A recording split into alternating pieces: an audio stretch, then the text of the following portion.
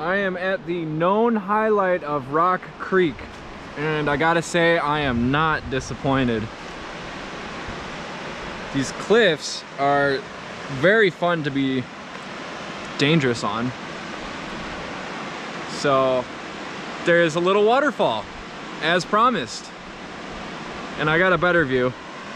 So let me slowly turn around.